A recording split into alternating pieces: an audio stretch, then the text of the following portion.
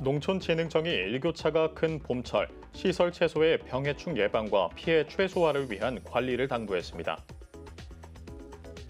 농진청 시설채소 현장기술지원단은 시설 재배 딸기의 잿빛 곰팡이병과 꽃 곰팡이병 발생이 지난해보다 증가하는 경향이 있다며 예방을 위해서는 적절한 환기를 통해 재배 시설의 내부 습도를 낮춰야 한다고 전했습니다.